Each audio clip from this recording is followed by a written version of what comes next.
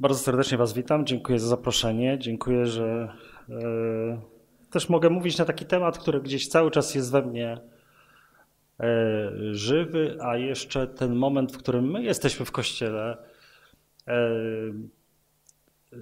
taki moment, kiedy wchodzimy też w synod, w myślenie w ogóle synodalne o kościele, odzyskiwanie też takiej tożsamości z pytaniem właśnie, kim ja jestem w kościele. Nie kim ja jestem dla kościoła, tylko e, pytanie, które sobie zadajemy z wewnątrz, kim ja jestem.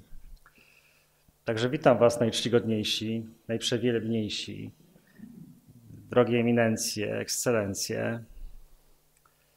E, bo właśnie nasza tożsamość w kościele bierze się z chrztu, a nie z urzędu.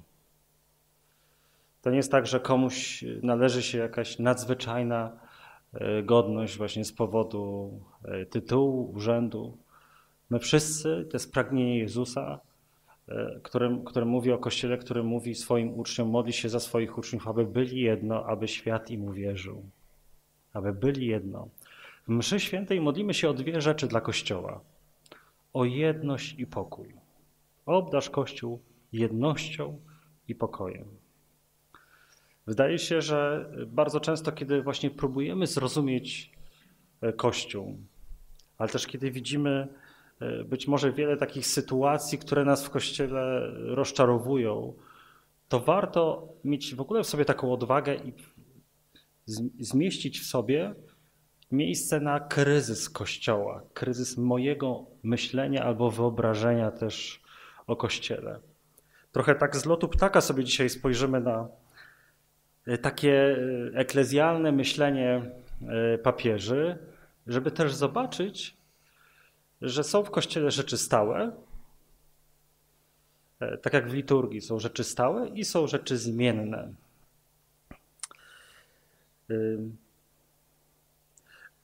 Sobor Watykański II przygotował taką konstytucję o Kościele w świecie współczesnym Gaudium et Spes. Nie chcę w tej chwili, broń Boże, omawiać tego tekstu i nie będzie to wykład, że ja tutaj będę mm, sypał jakimiś y, cytatami. Y, zeszytów nie macie, widzę, ani długopisów, to oszczędźmy sobie tego. Ale bardzo często możemy odnieść wrażenie, że jednym z takich, właśnie, że my nie czytamy tej konstytucji jako takiego źródłowego też tekstu, o Kościele dzisiaj w świecie współczesnym, z soborowego tekstu, tylko tak naprawdę mamy jedno wielokrotnie złożone zdanie, które dla wielu z nas wydaje się, że jest konstytucją o Kościele. To zdanie brzmi: Zawsze tak było, nigdy tak nie było. Nam się bardzo często wydaje, i kiedy widzimy taką naszą krótką perspektywę też życia, że są takie rzeczy, które są, nie wiem, zawsze, zawsze tak było, nigdy tak nie było.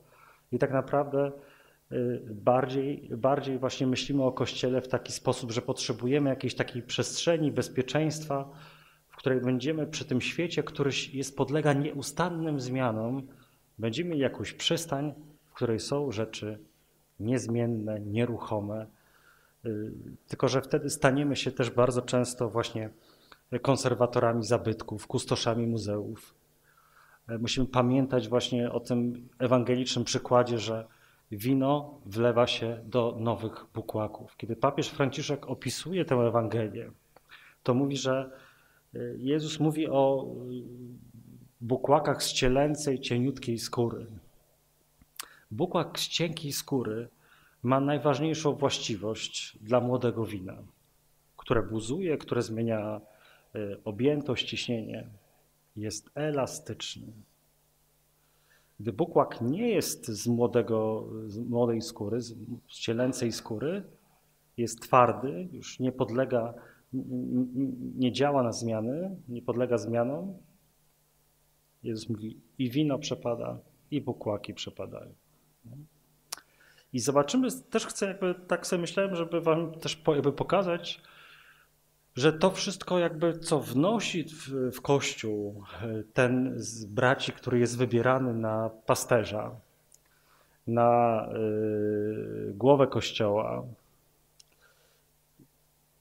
może nawet nie głowę Kościoła, to, to chyba złe słowo, bo Chrystus jest głową, głową Kościoła. I papież nie jest żadnym zastępcą nieobecnego Boga czy nieobecnego Chrystusa na ziemi. Nie? Jest sługą sług, jest tym, który właśnie w kapłaństwie służebnym e, służy kapłaństwu powszechnemu, które macie wy. Wszyscy jesteśmy od momentu chrztu naznaczeni tożsamością kapłańską. Kapłańską, królewską i prorocką. Nie dajcie sobie wciskać, że jest inaczej. Nie dajcie sobie wciskać, że jesteście jakimś gorszym drugim sortem albo trzecim. Że lepiej siedzieć cicho, że lepiej się nie odzywać. Nie? Właśnie chrzest sprawia, że my jesteśmy wszyscy równi. Bez względu na to też, jaką pełnimy posługę w kościele, jaki mamy urząd, jak się ubierzemy w kościele. Jesteśmy równi. Bierzemy z tego samego stołu, spożywamy z tego samego stołu, jemy to samo, pijemy to samo. To jest coś, co, co, co jakby było bardzo mocną tożsamością Kościoła u samego początku. Że bez względu na to, czy byłeś kobietą, czy mężczyzną, czy byłeś wolny, czy byłeś niewolnikiem, Eucharystia, Kościół sprawiał, że byłeś, mieć tę samą godność, co inni ludzie. I e, właśnie kapłaństwo służebne, które my tutaj reprezentujemy, jest kapłaństwem służebnym wobec waszego kapłaństwa. Że my jesteśmy po to, żeby służyć właśnie kapłaństwu powszechnemu, e, które jest, którym jesteście obdarzeni wy. E, feudalizm sprawił, że nam się to przewracało w głowach i wydało się, że my jesteśmy panami feudalnymi, którym trzeba służyć w taki czy inny sposób.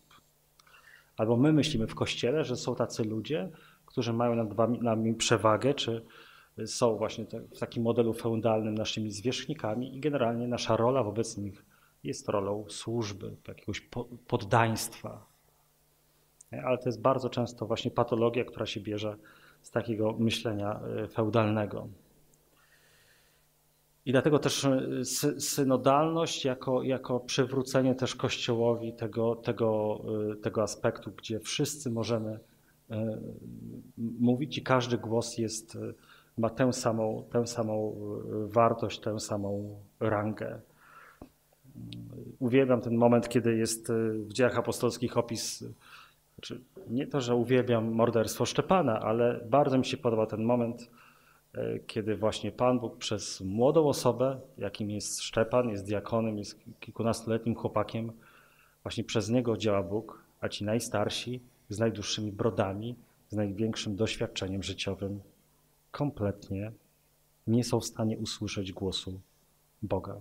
Także świadomość w Kościele to też jest świadomość tego, że Bóg nie mówi tylko przez wybranych, e, ale mówi i będzie mówił w sposób zawsze wolny, przez kogo chce, kiedy chce i w jakich sytuacjach chce.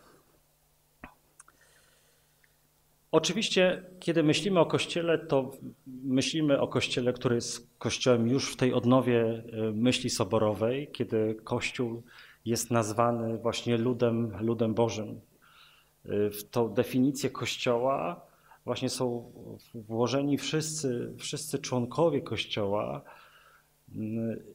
właśnie jakby na równi, na, na duchu jedności. Bez takiego myślenia właśnie, że Kościół to, e, to hierarchia, Kościół to, nie wiem, osoby konsekrowane, e, czy właśnie cały taki, cały taki model e, klerykalny. Jak zobaczymy sobie, to powiem za parę minut o tym, zobaczymy, że po prostu papież Franciszek to jak z taką kosiarką do trawy, po prostu stara się za każdym, w każdym momencie wycinać wszelkie przejawy e, klerykalizmu. Ale on jest zakonnikiem i nam jest czasem łatwiej e, jakby się wydostać, wydostać z tego. Także widzimy sobie w takiej perspektywie właśnie posoborowej e, trzy papieży, którzy tak naprawdę w różny sposób E, są tymi, którzy, e, którzy w soborze e, właśnie realizują nauczanie czy, czy myśl soborową. E, Paweł VI w 63 roku zostaje papieżem, jest arcybiskupem Mediolanu, y, kardynał Montini. To jest mój papież. Można mieć innego papieża swojego. Ja go odkrywam. E, odkryłam go w taki sposób właśnie, jak widzę, jak, jak tak naprawdę jego gesty, jego ruchy nadały takt Kościołowi na następne dziesięciolecia. Ja bym, ja wiem, że nam by się marzyło, żeby się od papieża Polaka cała myśl kościelna zaczęła i żebyśmy z zachwytem patrzyli na pontyfikat Wojtyły i mówili po raz pierwszy, po raz pierwszy on to zrobił, o tak. Tak naprawdę można zobaczyć, że Karol Wojtyła wchodzi w buty kardynała Montiniego. E, można powiedzieć, zaczyna kropka w kropkę naśladować gesty, sposób życia, sposób jakby funkcjonowania, kontaktu z wiernymi, jaki miał Paweł VI, święty papież Paweł VI, którego nie obchodzimy wspomnienia w Polsce, bo nie jest Polakiem i tak naprawdę gdzieś jest w cieniu, a ja tu jestem też po to, żeby wam trochę poszerzyć, poszerzyć perspektywę e, i pokazać papieża, o którym Jan Paweł II w swoim testamencie pisze, chcę mieć pogrzeb jak Paweł VI. Ja chcę mieć trumnę jak Paweł VI. Ja chcę mieć nagrobek jak Paweł VI. Paweł VI w tej myśli soborowej, myśli, która mówi właśnie o, ko o Kościele, który jest Kościołem wychodzącym, a nie oczekującym założonymi rękoma, że przyjdą. To myślenie bardzo często jest jeszcze w nas też tak duszpastersko obecne, że nam się wydaje właśnie, że naszą rolą jest czekanie, kiedy przyjdą, aż przyjdą. Tak? Kiedy ludzie, że oni mają przyjść do kościoła. Paweł VI, y, kiedy, y, kiedy też pisze encyklikę o ewangelizacji, właśnie mówi, że tożsamością kościoła nadaną przez Jezusa jest tożsamość idźcie, wyjdźcie, opuśćcie Jerozolimę, idźcie i czyńcie uczniów wszędzie tam, dokąd zajdziecie. Idźcie na krańce świata, przekroczcie wszystkie granice, które macie w sobie. Jest taki fragment w Ewangelii, kiedy Jezus mówi: Posłałem was jak owce między wilki. My bardzo często wchodzimy w takie myślenie, że to jest e, taki tekst, który będzie nam mówił o jakimś nie wiem, prześladowaniu. My, biedne, skromne, ciche, uśmiechnięte owce, idziemy wystawieni na pożarcie wilkom. E, kiedy Jezus tak mówi apostołom, oni potem wracają, wcale nie mówią o żadnym prześladowaniu.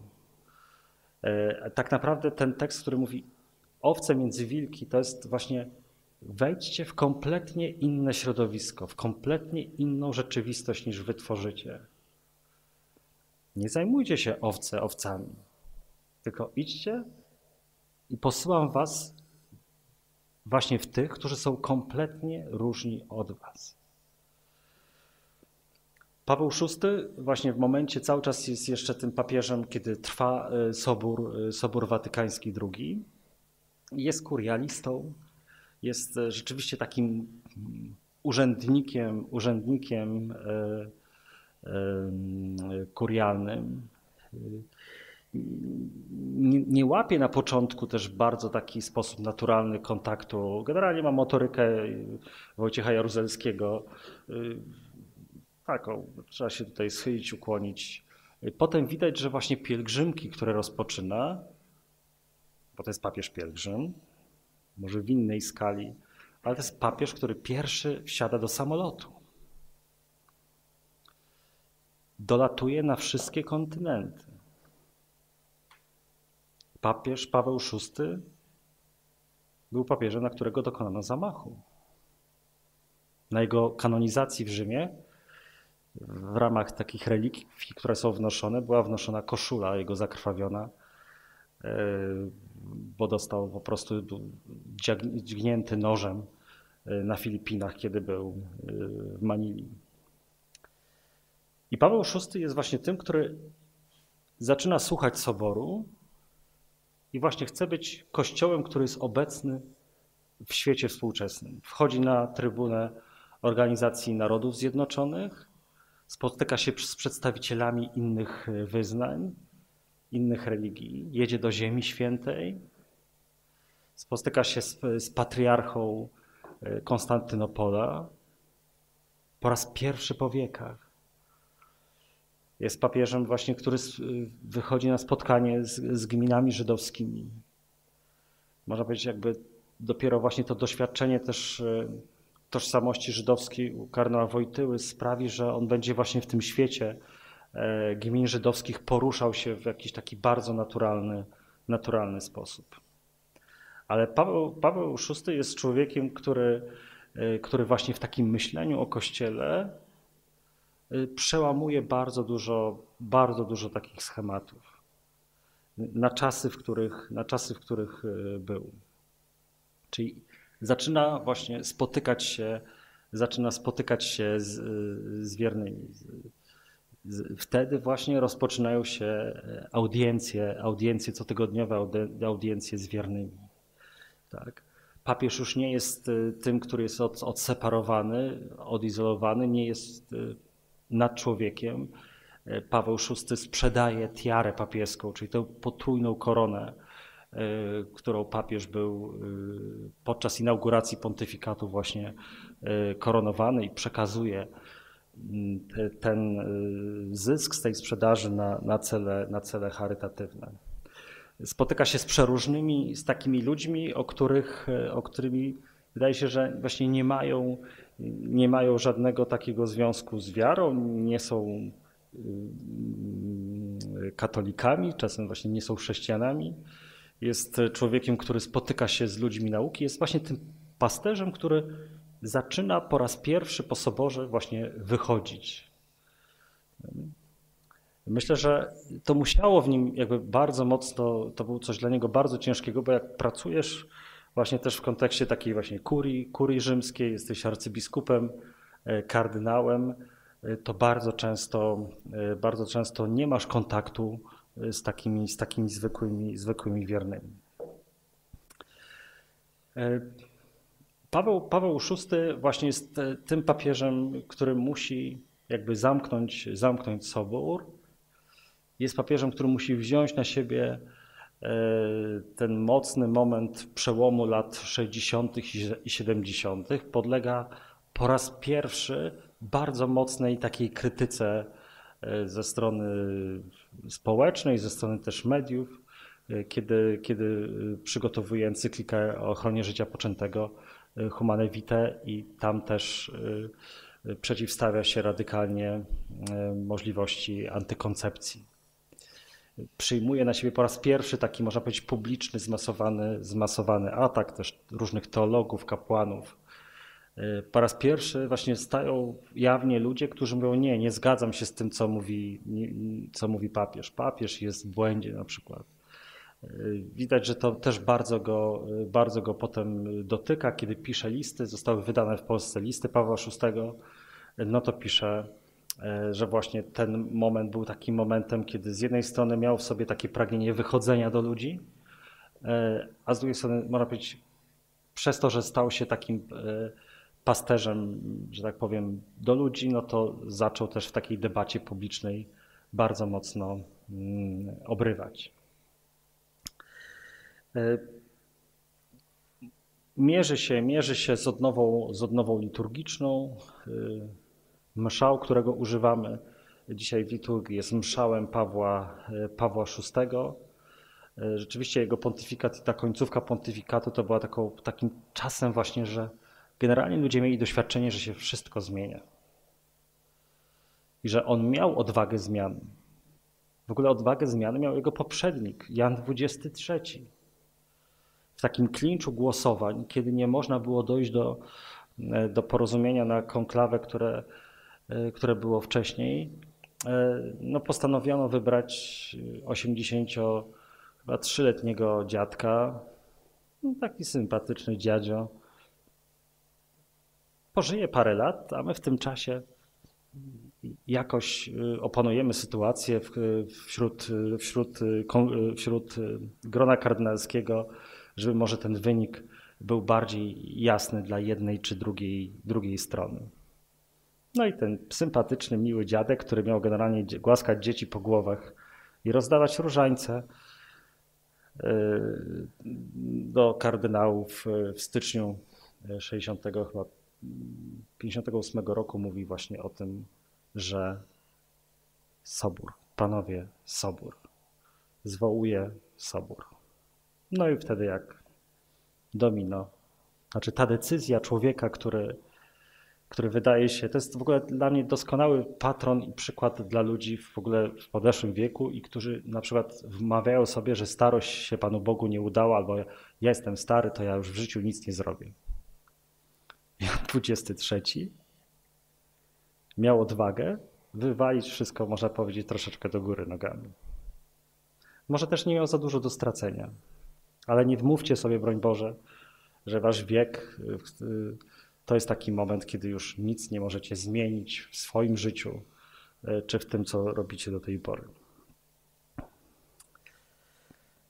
E, można powiedzieć, że każdy z nich uruchomił proces, którego już nie można było zatrzymać. Jest, taki, jest taka prędkość samolotu, który się rozpędza na pasie startowym, którą, która jest prędkością która się mówi, że to jest taki point no return, czyli to jest taki moment, że ty generalnie już nie wyhamujesz. Musisz się oderwać. W kabinie pilota słychać właśnie taką informację, właśnie, że to jest taka prędkość, która już, która już jest taką prędkością, że ty już musisz podjąć decyzję o, e, o starcie, bo nie, nie wyhamujesz. Czyli jest uruchomiony już jakiś proces, musisz się oderwać. Każdy z tych papieży uruchamia proces w kościele, którego już można powiedzieć nie można zatrzymać. E, właśnie widzimy, że e, następny właśnie pontyfikat, e, krótki pontyfikat niedługo błogosławionego papieża Jana Pawła I, to też taki ciekawy człowiek, że on sobie wymyślił podwójne imię. Ile tam musiało być osób, które mogły mógł powiedzieć, a słuchaj, nigdy tak nie było. Brało się pojedyncze imię. Dla mnie mama Jana Chrzciciela jest taką właśnie, jak tam Jan, Jan Chrzciciel ma mieć na imię Zachariasz, to wszystkie tam ciotki i sąsiadki mówią, no i ma być na imię Zachariasz, to nam mówi nie, ma mieć na imię Jan. Czasem trzeba właśnie umieć powiedzieć nie i zrobić coś, coś po swojemu. Yy, ten pontyfikat Jana Pawła I nie dał nam za dużo, za dużo yy, takiej informacji, którą moglibyśmy zbudować, właśnie jego takie eklezjalne, eklezjalne myślenie, yy, nazywany papieżem, papieżem uśmiechu. 33 dni jego pontyfikat. Paweł VI właśnie do 6 sierpnia, do 6 sierpnia 78 roku, wtedy umiera. Jak zobaczycie sobie właśnie zdjęcia z y, film z pogrzebu Pawła VI, to zobaczycie, że to jest, można powiedzieć, te same ujęcia, te, ten sam wygląd Placu Świętego Piotra, y, trumna na, na, bez katafalku, y, prosta z olchowego drewna, taka sama, jaką, jaką widzieliśmy u Jana Pawła, Pawła II. Przychodzi człowiek z dalekiego kraju, przychodzi Jan Paweł II. I przychodzi też z takim myśleniem właśnie masowego wymiaru Kościoła. Pamiętajmy, że to, co ma świeżo w głowie kardynał Wojtyła, to na przykład właśnie obchody, obchody roku, y, obchodu y, jubileuszu tysiąclecia chrztu Polski. Ten człowiek ma w głowie właśnie myślenie jakby masowe, globalne, też o takim myśleniu, żeby właśnie żebyśmy doświadczali Kościoła właśnie też w takich jakby w masowym, w masowym działaniu. E, I on jakby uruchamia właśnie takie procesy, czy takie wydarzenia, gdzie dużo ludzi w jednym momencie może się także, także spotkać, także z nim spotkać, ale też zobaczyć siłę, siłę Kościoła, zobaczyć to, że nie jestem w wierze sam, że jestem człowiekiem, który który mm, e, właśnie ma takie, takie właśnie mam braci i siostry. To oczywiście jest człowiek, który jest dotknięty, e, dotknięty takim bardzo alergicznym myśleniem o wszelkim takim myśleniu właśnie czym jest socjalizm, ten socjalizm właśnie się przeradza w, w, nie w kapitalizm, tylko w, w komunizm. E, I można powiedzieć, reaguje bardzo alergicznie też na te wszystkie ruchy e, właśnie księży robotników, czy tej, tej teologii wyzwolenia, którą, którą widzimy w, szczególnie w Ameryce, w Ameryce Południowej, e, ale też właśnie wybiera jako pierwszy punkt swojego pielgrzymowania podczas pontyfikatu takie miejsce, w którym on będzie szedł na konfrontację. On jest nauczony konfrontacji. Tak, on wie, że wiele rzeczy, które się e, działy za jego polskich e, czasów, musiały pokazywać, że trzeba stawać twarzą w twarz trochę z przeciwnikiem, czy trzeba się nie bać systemu. Nie bać się systemów totalitarnych. I pierwsza jego pielgrzymka odbywa się gdzie? To będzie pytanie w milionera chyba za milion w ogóle. E, do Meksyku. W Meksyku, gdzie duchowny nie może nawet nosić stroju duchownego i tam grozi kara więzienia. I w, w styczniu, w styczniu 79 roku leci do Meksyku, właśnie jakby mając sobie też to doświadczenie konfrontacji z systemami totalitarnymi. Wtedy Meksyk jest dotknięty właśnie y, huntą wojskową. Y, te praktykowanie wiary jest, jest y, bardzo, bardzo ograniczone. Duchowni są, że tak powiem, osadzani do więzień. I dlatego o tym mówię, żeby właśnie zobaczyć, że ten styl sprawowania władzy w kościele, pasterzowania w kościele, to jest to, co wnosi ze swojego doświadczenia zawsze ten, który zostaje biskupem Rzymu. Tak? To, to on się nie staje kimś innym. Tak? On, on, on, ma to doświadczenie właśnie, właśnie i z jednej strony wydarzeń masowych, i w Meksyku właśnie wbrew władzom organizowane są msze, które są mszami nie w kościołach, tylko na placach. Nie? E, żeby właśnie ludzie zobaczyli swoją siłę, swoją moc i żeby władza zobaczyła E, też e, tą potęgę, potęgę tłumu. Wydaje się, że właśnie ten, ten, ten e, najbardziej taki charakterystyczny rys myślenia o Kościele widzimy też w pierwszym tekście, który papież Wojtyła przygotowuje. Redemptor homini, odkupiciel człowieka. Tam właśnie pisze trochę właśnie o Kościele w taki sposób, że człowiek jest drogą Kościoła. Tak, że, że jeżeli Kościół ma gdzieś, tak, Paweł VI powiedział, wychodzimy, idziemy, to teraz Jan Paweł II uszczegóławia, po jakiej drodze idziemy. Nie? Czy to jest droga, nie wiem, konfrontacji, czy to jest droga jakichś argumentów, yy, yy, przekonywania? Nie, on pisze, jakby człowiek jest tą drogą, na którą my mamy wejść nie? żeby towarzyszyć ludziom. Towarzyszenie ludziom tam, gdzie oni są, tam, w czym są. E, to będzie, wydaje się, jeszcze mocniej wybrzmi w pontyfikacie papieża Franciszka, który będzie bardzo często przywoływał Ewangelię o drodze do Emaus, który mówi: Jezus, czyli ten po zmartwychwstaniu, Jezus jest towarzyszem drogi ludzi, którzy idą w przeciwnym kierunku niż Jerozolima, którzy odchodzą i mówi, mamy towarzyszyć ludziom, nawet jeżeli idą w złą stronę. I dlatego bardzo często właśnie ten wymiar towarzyszenia ludziom tam, gdzie oni są, przyjmuje taki wymiar właśnie spotkań, spotkań y, papieskich, właśnie, że y, to już nie tyle oni przyjeżdżają do niego, tylko on odwiedza ich tam, gdzie są. Tak samo jak, jak wchodzi do zakładów pracy, odwiedza takich czy innych pracowników, wchodzi do, na spotkanie z lekarzami i spotyka się z nimi w szpitalu. Żeby pokazać właśnie, że Kościół jest tą wspólnotą, która będzie, która wchodzi w Twoje życie. Nie? Która chce być solidarna z, z tym, co Ty robisz, co przeżywasz. Wchodzi, w, wchodzi e, papież Jan Paweł II ten nurt pielgrzymowania.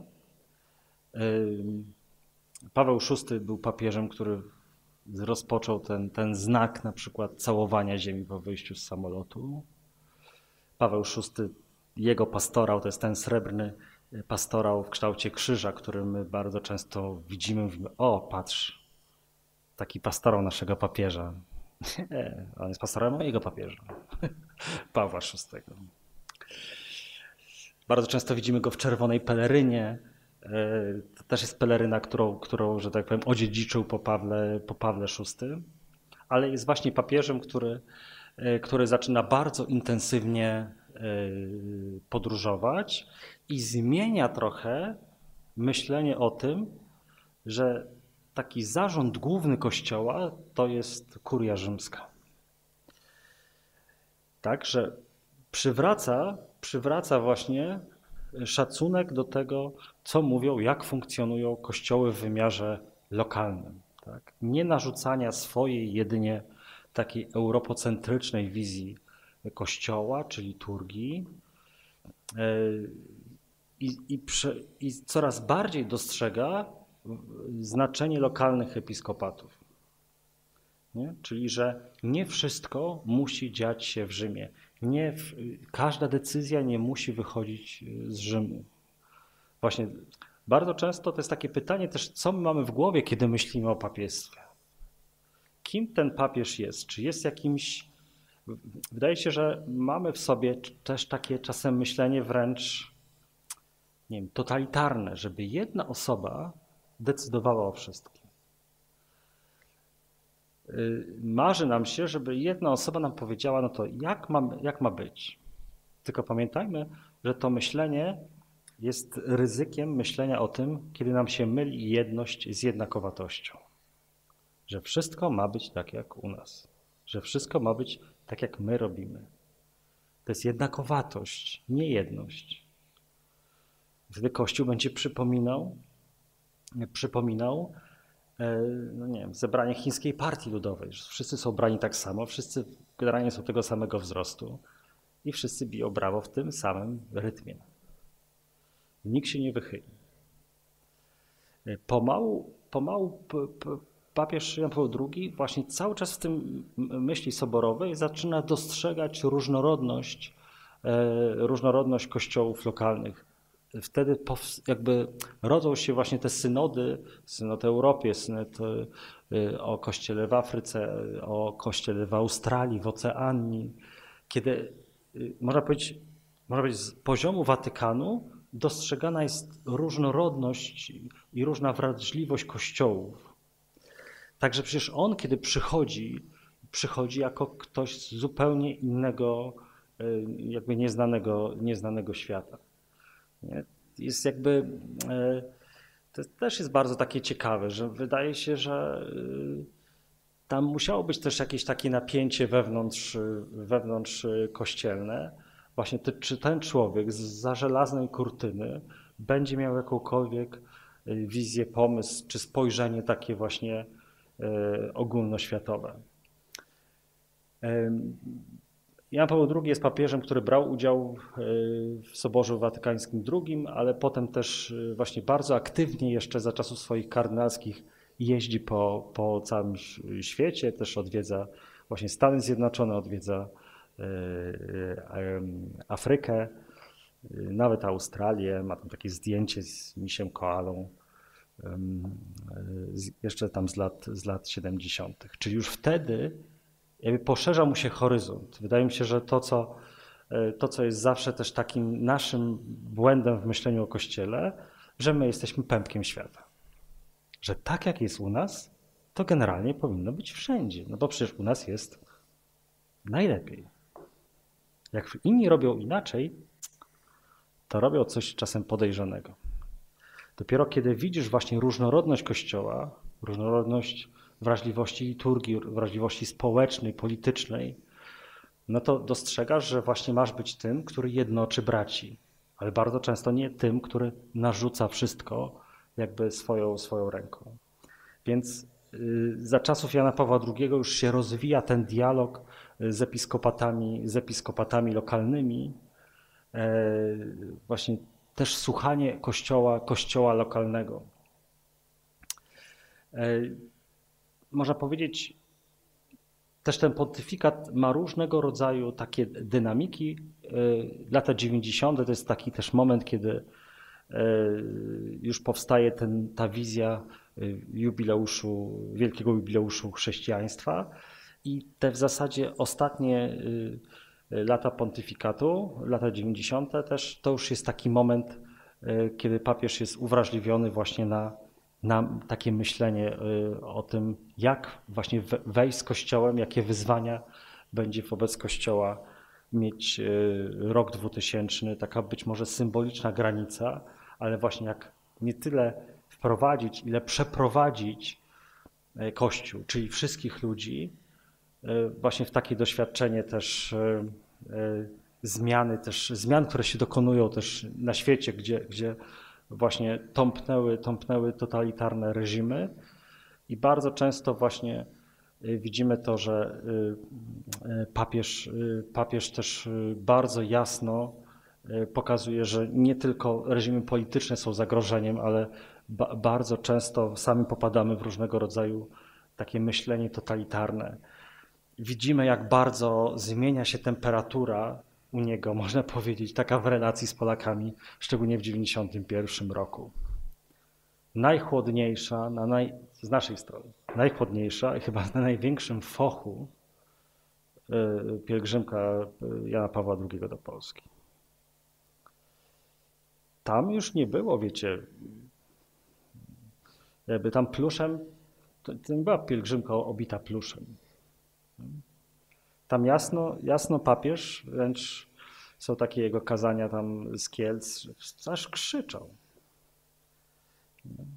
Ta, wszystkie, jego, wszystkie jego homilie dotyczyły dziesięciu, dziesięciu przykazań, pokazując i mówiąc w 91 roku, to że, to, że pogoniliście komunistów, nie oznacza, że jesteście wolni. Macie mnóstwo sytuacji, które wam zagrażają. I można powiedzieć, dopiero w 1991 roku spotykamy się z, z papieżem w Polsce, no z takim rzeczywiście pasterzem. Nie, że przyjechał nasz wujek, nasz tam człowiek, y, ale przyjechał ktoś, kto nam głosi, głosi Ewangelię. Trudny czas, bo to jest czas właśnie, kiedy, kiedy jest pierwsze, pierwsze też taka rozmowa na przykład o ustawie aborcyjnej, potem jest ogromna dziura y, i do 97 roku też nie, nie może być wtedy jeszcze konkordat podpisany, to można powiedzieć, y, papież znika trochę z polskiej przestrzeni e, społecznej właśnie do 97 roku. Jest przez kilka godzin w Skoczowie w 95, ale można powiedzieć, ten 91 rok też zmienia w takim naszym polskim myśleniu właśnie to, kim, kim jest e, papież. Nie? Że właśnie nie jest tym, który będzie za nas y, walczył, za nas decydował, że będzie nam załatwiał jakieś tam przywileje czy, czy profity. Y, to jest chyba właśnie też to, co widać w Jezusie, kiedy mieszkańcy Nazaretu odkrywają i słyszą, że On jest powołany do wszystkich, jest posłany do wszystkich ludzi, a nie tylko do swoich. Wtedy mieszkańcy Nazaretu postanawiają Jezusa zrzucić y, z góry, czyli go po prostu zabić, bo już nie jest taki nasz. Wydaje się, że 91 rok właśnie sprawia, że następuje taki przełom w naszym myśleniu o tym też, czym jest, czym jest papiestwo.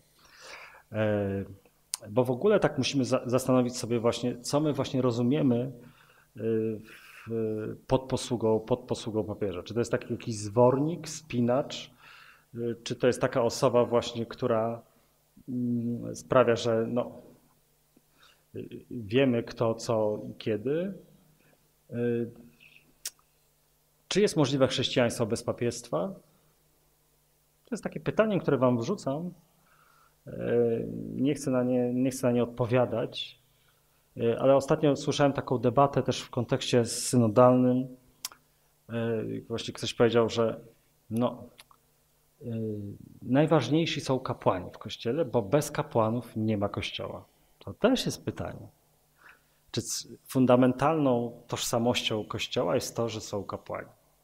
Oni są do czegoś powołani, są do czegoś ustanowieni, do czegoś są święceni ale pytanie, czy to się wszystko trzyma e, na kapłanach, czy tam trzyma się na, e, na przykład na papieżu.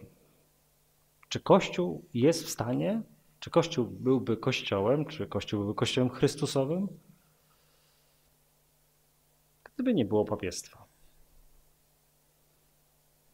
To jest też dla mnie bardzo ciekawa decyzja, czy, czy myślenie, czy na przykład we władzy papieża jest podjęcie decyzji o tym, że już nie będzie kolejnego papieża. Czy to, nie? To, to nie jest rzecz, która jest, nie wiem, na której się trzyma myślenie, myślenie o Kościele. Wydaje się, że to są ludzie, którzy coraz bardziej są tymi właśnie, którzy już nie są kierownikami, nie? ale inspiratorami. Znaczy inicjują pewnego rodzaju procesy, nie? dzięki czemu też my, jako jesteśmy w Kościele, od, właśnie definiujemy sobie, czym jest, czym jest Kościół. Jeżeli papież podaje komuś rękę, jeżeli kogoś gości u siebie, to mi się poszerza myślenie, poszerza mi się jakby taki horyzont w myśleniu o tym właśnie, kim jest drugi człowiek. Kim jest osoba, której nie lubię, kim jest osoba, która bardzo często y, budzi we mnie jakiś opór, agresję. I, i, papieże dzięki temu, że odkrywają, że są osobami publicznymi, wręcz widzimy, jak na przykład w Stanach Zjednoczonych Jan Paweł II jest traktowany właśnie jako taka, z taką manierą właśnie jakiejś, jakiejś gwiazdy, gwiazdorstwa, e, superstar, to widzimy właśnie, że papieże od, dzięki też mediom, dzięki temu, że widzą, że stają się osobami publicznymi. Kiedy papież e, właśnie trafia na okładkę The Time jako człowiek roku, kiedy można przeprowadzić wywiad z papieżem, kiedy można papieżowi w takiej już luźniejszej atmosferze zadać pytania w samolocie podczas długiego lotu nad Atlantykiem. Kiedy właśnie można mu zadać pytanie, kiedy można się o coś zapytać. Rola mediów też w myśleniu o, o, o papiestwie jest tutaj bardzo, bardzo ciekawa, właśnie kiedy oni widzą, że czasem większą rolę ma nie to, co oni mówią, tylko to, jakie wykonują gesty. I widzimy tam, zaczyna być, że tak powiem, pont, zaczyna być pontyfikat znaków, gestów. Spotkanie z Ali Akczą, gdzie pozwalasz wejść właśnie kamerzyście, pozwalasz wejść fotografowi. I teraz samemu sobie musisz powiedzieć na pytanie, dobrze, to, to jeżeli on tak robi z człowiekiem, który podniósł na niego rękę, który w niego celował, to jak ja mam sobie poradzić z ludźmi, z którymi mam kłopot w życiu, którzy też celują tak czy inaczej do mnie. Czyli zaczyna się takie właśnie myślenie o papiestwie jako o, o liderstwie, że ty dokonujesz jakiegoś procesu, pokazujesz sobą coś, co głosisz. Właśnie to są gesty, to są spotkania, niezliczona ilość spotkań z różnorodnymi ludźmi, nawiedzenie synagogi w Rzymie. Potem też przy różnych okazjach wizyt pasterskich nawiedzanie y, synagog czy też miejsc innych religii. Zdjęcie butów w meczecie. Ogromny szacunek też do różnorodności. No i finałem wszystkiego jest zabranie Aleksandra Kwaśniewskiego do papamobilu. ile tam musiało być, że tak powiem, mm, jakiejś, wydaje się, złości czy niezrozumienia. E, pamiętam takie, takie tłumaczenia, że, że właśnie mówiono, że o, papież już był zmęczony i mu tu podsunięto w ogóle tak bocznym wejściem, prawda? E, nie, to są właśnie takie rzeczy, które mają z nami coś zrobić. No bo my papieskiego nauczania to za bardzo, wiecie, no leżymy, no wiecie, my barkę znamy na pamięć, to Pisma Świętego nie znamy, ale już nie mówię o dokumentach, o dokumentach soborowych czy o katechizmie. Właśnie Jan Paweł II to jest papież, który y, tą odnowę soborową, można powiedzieć, zamyka w 92 roku, kiedy powstaje katechizm Kościoła katolickiego, ten niebieski, takie bardzo mocne kompendium nauczania Kościoła. I, i oczywiście my jesteśmy też, papieże to już to odkrywają, Watykan to odkrywa, że właśnie nauczanie papieża musi być trochę w, tej, w, tym, w tym nurcie właśnie znaków, gestów, takich gestów, które są, które są już niezapomniane, których już, już ich nie wymarzysz, nie wymarzysz z pamięci. Yy, dlatego też on jakby decyduje się jakby do ostatniej chwili na to, że właśnie przeżywa swoją, swoją chorobę, yy, swoją, swoją, te swoje ostatnie dni kiedy nie rezygnuje z ukazania się publicznego, kiedy jest po tracheotomii, kiedy w zasadzie już nie może mówić, kiedy właśnie traci ten instrument y, nauczania papieskiego. Można powiedzieć głos. Człowiek, który całe życie budował też na tym doświadczeniu aktorskim, traci głos, ale ma znaki. I te znaki okazuje się, że zostają o wiele mocniej też w ludzkiej świadomości, w ludzkiej pamięci e, niż, e, niż, e, niż jakieś dokumenty czy, czy teksty.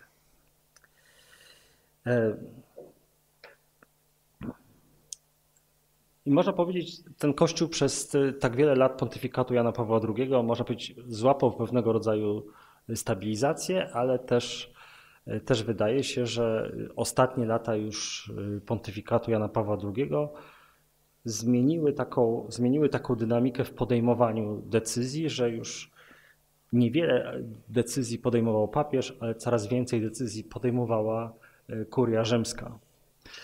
Czyli, że pewne rzeczy już były załatwiane za w takim jakby drugim obiegu, czy między poszczególnymi dykasteriami, czy kardynałami. I, i papież już jakby nie o zbyt wielu rzeczach był informowany, czy nie we wszystkich decyzjach e, brał udział. To jest taka bardzo ciekawe myślenie, że kiedy próbujemy zrozumieć abdykację Benedykta XVI, e, który ma też świadomość tego, że właśnie za chwilę jego stan zdrowia, jego wiek nie będzie pozwalał mu w taki sposób nie tyle trwania, prawda, trwania, że mimo wszystko trwam, sprawować w kościele posługi papieskiej, ale że masz światły umysł, że masz, że y, twój stan zdrowia sprawia, że rzeczywiście y, podejmujesz decyzje, rzeczywiście masz władzę. Dzisiaj Benedykt XVI jest najdłużej żyjącym papieżem w historii, y, w historii papiestwa. Oni tam mają długowieczne geny, Ratzingerowie w, w swoich tam genach, także w swoich żyłach, także tam jest po prostu to jest jak dobra blacharka, blacharka BMW z Bawarii, wiecie, to, to nie zajedziesz czego tak. To, to nie jest Trabant z DDR-u, nie? To, to jest, wiecie, niemiecki dobry, niemiecki dobry szlif. Co zmienia Benedykt XVI w myśleniu o Kościele? Trochę, można powiedzieć, wywraca czy zmienia akcenty. Mówi, Bóg jest drogą Kościoła. Tak? Znaczy, wróćmy, zadajmy sobie znów pytanie o Boga w Kościele. Nie? Jaki jest Bóg, mówi Benek XVI na początku swojego pontyfikatu. Nie? Kim jest Bóg? Jako najważniejsze pytanie chrześcijaństwa. Jasne, jest teologiem, dla niego jest to bardzo naturalne pytanie. Nie radzi sobie zbyt doskonale y, z takim spotkaniu z, z tłumem, wydaje mi się, że ten sam początek pontyfikatu jest dla niego też taki bardzo trudny, bo wiele osób stara się go wcisnąć w Jana Pawłowe y, buty. Nie? Żeby... I to jest coś bardzo trudnego, kiedy po kimś przejmujemy y, pewnego rodzaju tam stanowisko schedę, no to wszyscy oczekują, że będzie, będzie jakimś kontynuatorem jakiegoś tam stylu. On ma taką odwagę, że, że zachowuje swój styl, swoją wrażliwość, E, pamiętam te głosy właśnie z jego pielgrzymki z 2006 roku w Polsce, że takie no, nie jest takie, jakbyśmy chcieli. Tak, nie jest inny niż się przyzwyczailiśmy. Nam, Polakom, jakoś nie tak, jakoś nas nie zaspokaja za bardzo. I tak mógłby się nauczyć polskiego. Jeszcze się nie nauczył. No, kiedy próbuję używać, y, staje się to y, anegdotyczne i w zasadzie zostaje w nas y, ten moment, kiedy papież zwrócił się po polsku i powiedział: Pozdrawiam was, ciule.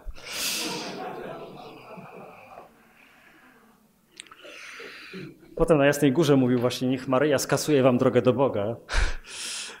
Także, także wydaje mi się, że już potem bardzo ostrożnie już nie chciał obchodzić te buty żeby co, mówić do Polaków e, tylko i wyłącznie po polsku. Ale to zmienia nasze myślenie właśnie w tym, że my się zaczynamy wtedy uczyć też różnorodności Kościoła. Wydaje się, że po wielu, wielu latach, dopiero przy Benedykcie XVI, odkrywamy zupełnie inną dynamikę pontyfikatu. Dynamikę, która E, zaczyna się właśnie wycofywać na przykład z wydarzeń masowych. O ile tam jeszcze, jeszcze Benedykt XVI wchodzi właśnie, czy to są Światowe Dni Młodzieży, czy... E, ale widać, że to, to, to nie jest jego, to nie jest jego, to nie jest jego tonacja. Nie?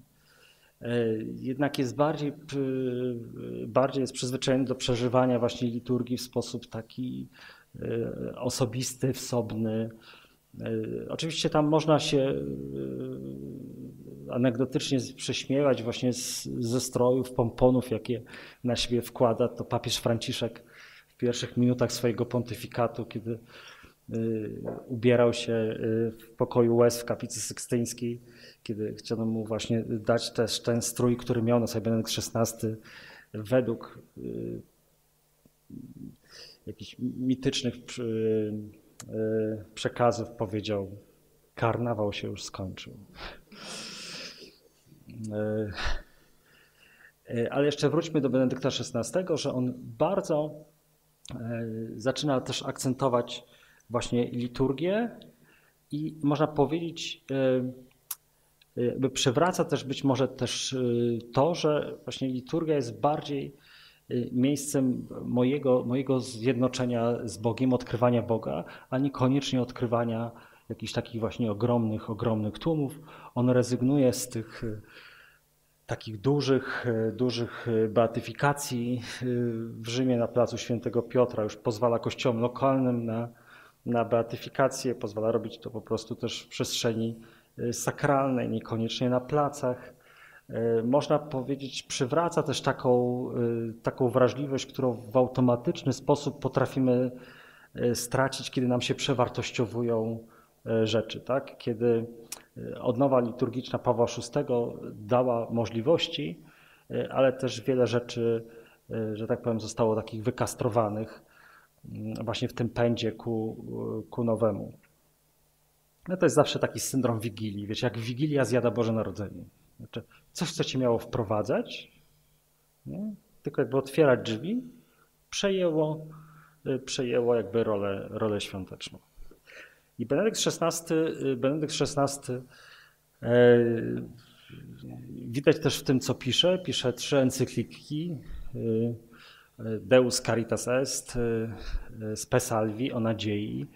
I potem już u progu swojego pontyfikatu zmień, e, kończy, pisze e, encyklikę o wierze. O wierze. To, co można powiedzieć, zmienia Benedykt XVI w myśleniu o papiestwie, no to właśnie ten moment jego decyzji też o abdykacji, który, który też wywraca nam w głowie myślenie o tym, kim, kim jest papież nie? i jaką, jaką ma pełnić, y, pełnić rolę w Kościele. I, i rzeczywiście do, do roku 2013 y, był kiedyś taki kawał, wiesz jak się witają papieże? Odpowiedź była, nie wiem. I po, po 2013 roku zmieniło się tak wiele w Kościele, że ten kawał przestał być aktualny, bo zobaczyliśmy jak się witają, witają y, papieże. Nie? Musieliśmy jakby z, z, zobaczyć sobie, i e, wydaje się, że to bardzo przebudowuje nasze myślenie e, o Kościele, kiedy właśnie zobaczyliśmy papieża emeryta Benedykta i, nowego papieża, papieża Franciszka. To tak jak my mieliśmy kiedyś tam trzech prymasów Polski. Czekał na czwartego, to mówią, to na Boże Ciało będą mogli ten bandlachim chociaż nieść.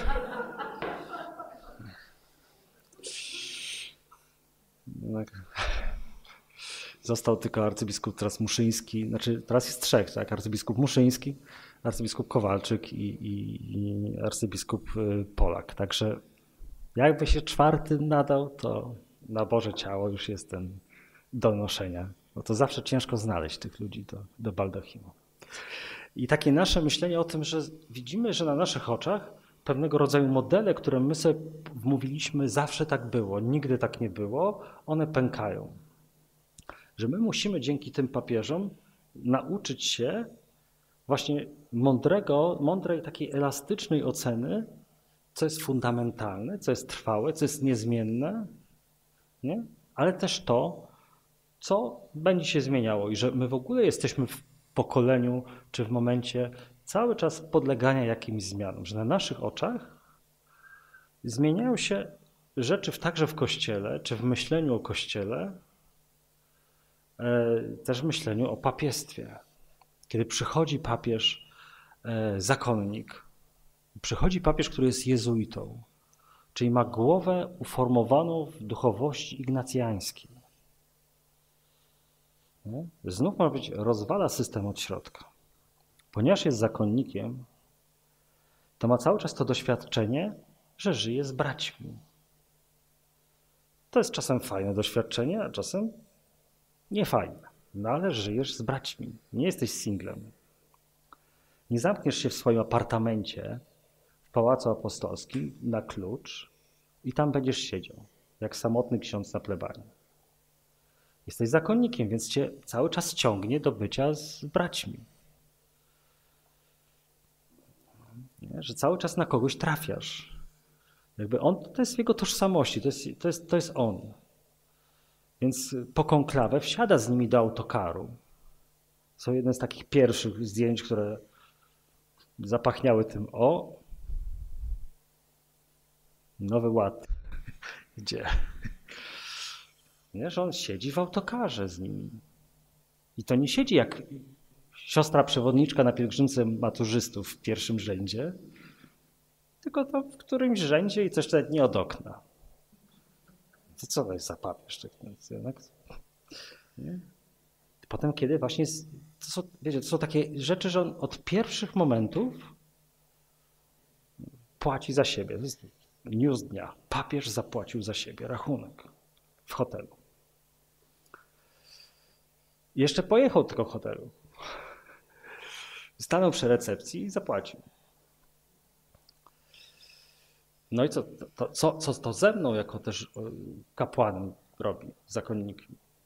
Że mi uświadamia, że nie wszystko jest dla mnie za darmo. Że muszę naprawdę zapłacić.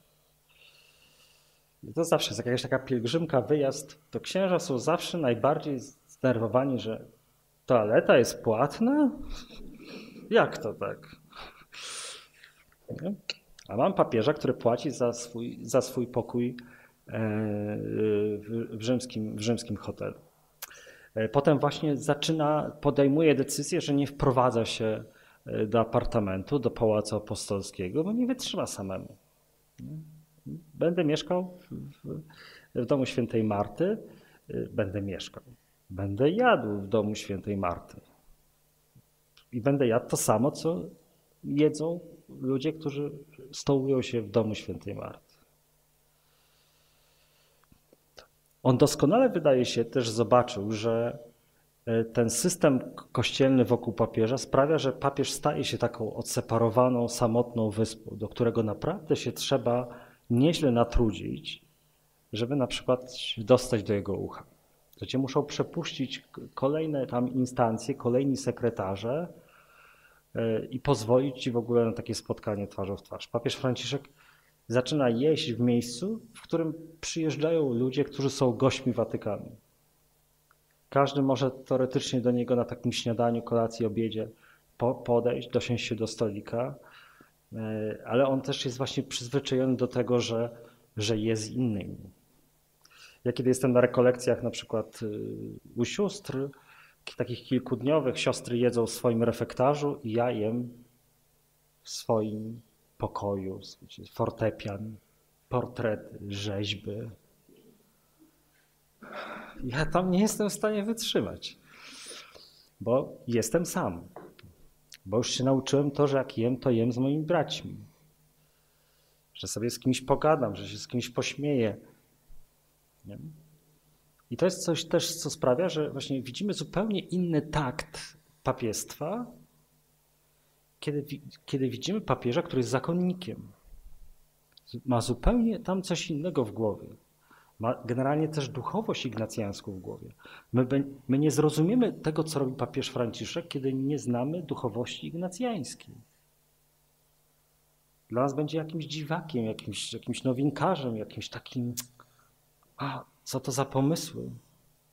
Ale jak znasz duchowość ignacjańską nie? i widzisz na przykład to, że ta duchowość właśnie mówi, owoce są rzeczami, które pozwalają nam coś ocenić, ale wprowadźmy coś, zobaczmy jak coś działa. To zobaczymy jak wiele rzeczy wprowadza papież Franciszek takich ad experimentum. Zakonnik też jest przyzwyczajony do takiego myślenia, że trochę każdy z klasztorów no, jest trochę osobnym światem. Tak. Diecezja jest bardziej takim bytem jakby no, ścisłym. Kiedy my na przykład mamy rozrzucone klasztory po całej Polsce, to nie jest tak, że my doskonale wiemy, co się tam dzieje w tym drugim klasztorze. Oczywiście, jak jakiś mistrz plotkarski przyjedzie, zawsze coś powie, ale przeważnie każdy klasztor jest trochę taki y, niezależny i też musi się utrzymać, musi wymyślić swoją formę duszpasterstwa, y, obecności w tym miejscu, w którym jest. I tego typu myślenie bardzo już coraz mocniej widać też właśnie w papieżu Franciszku, który mówi, nie tyle rola papiestwa, ile rola episkopatów lokalnych. Czyli, że episkopaty lokalne mogą podejmować władz, decyzje na temat wprowadzenia jakichś, jakichś zarządzeń, jakichś ustaleń, jakiejś takiej dynamiki, dynamiki kościoła, kościoła lokalnego. Czyli, że jakby odchodzi bardzo mocno papież Franciszek od takiego centralistycznego myślenia, że ja tu z Watykanu będę sterował Kościołem na całym świecie. Ile właśnie, tak jak pokazuje synod o Amazonii, jest w stanie właśnie mówić, rozmawiać e, o tym, jak ma wyglądać funkcjonowanie Kościoła, jego dynamika, w kontekście właśnie Kościoła, który jest w Amazonii. Zupełnie inaczej ona będzie wyglądała w modelu europejskim, czy też modelu e, azjatyckim. Tak? I papież Franciszek jest, jest tym, który będzie, widzimy, że wieloma gestami wyrywa nas, wyrywa nas z, takiej, z takiego centralistycznego e, myślenia. Znaczy, coraz bardziej jakby przekłada władzę na, na episkopaty, na episkopaty lokalne. Ma doświadczenie Ameryki Południowej, ma doświadczenie tej, tej, tej roli kapłanów czy pasterzy kościoła, która jest właśnie bardziej e, byciem z ludźmi właśnie na ulicy, czy w jakichś slumsach, czy e, takiej pomocy, pomocy dla ubogich, dlatego ten cały czas bardzo jasny, wyraźny u niego e, taki, taka wrażliwość, właśnie franciszkańska wrażliwość na ubogich i na potrzebujących. Nie dlatego, że on to sobie wymyślił, tylko że on taki, on to robił, znaczy znał to, znał to jakby z, z codzienności, więc wiele jego takich gestów i takiego właśnie myślenia o Kościele jest, jest już właśnie też takimi uruchamianiem pewnych procesów. Ostatnią taką rzeczą, o której chcę powiedzieć, to jest właśnie to, że papież Franciszek no, kosi klerykalizm, ko, kosi takie myślenie właśnie, że kapłan, że duchowny to, to jest no, generalnie nad, nad człowiek. Że generalnie jak staniesz na ambonie, jak się odezwiesz, to z twoich ust Słowo Boże się wylewa i to jeszcze na złoto.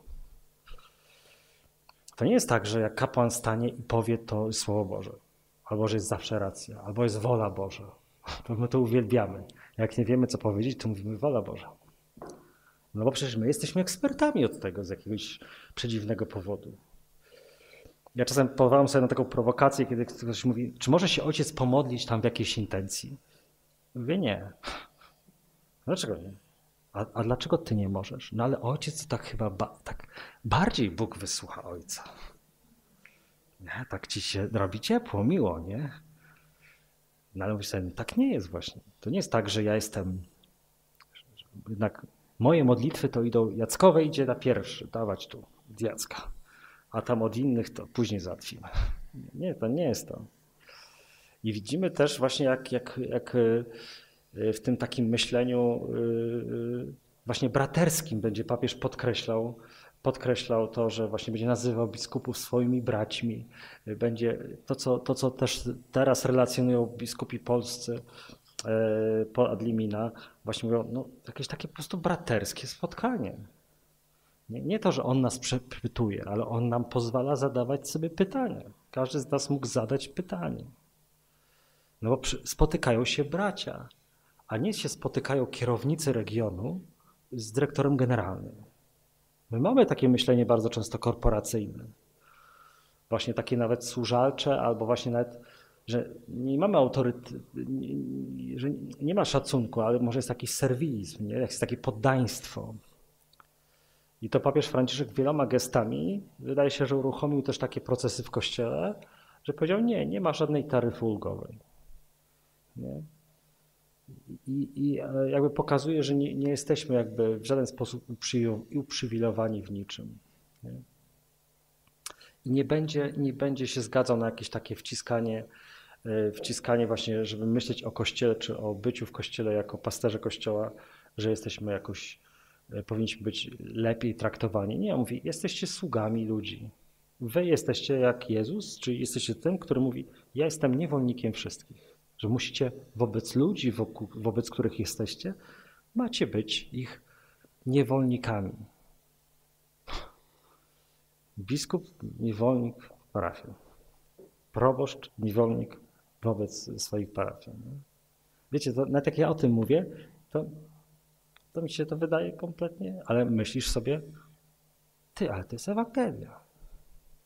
Nie? I widzimy, że wszystkie te, te gesty też papieży, te, te, ta ich różnorodność pokazuje, że my cały czas w tym duchu soboru musimy się nawracać, e, nawracać na Ewangelię. I że wiele rzeczy w papiestwie jest zmiennych, niezmiennych, buty, stroje, kolory.